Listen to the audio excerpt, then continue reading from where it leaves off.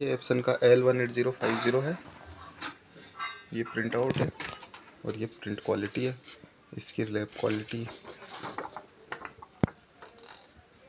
Print out निकला है। ये ब्लैक एंड वाइट फ़ोटो को अपन ने कलर किया है।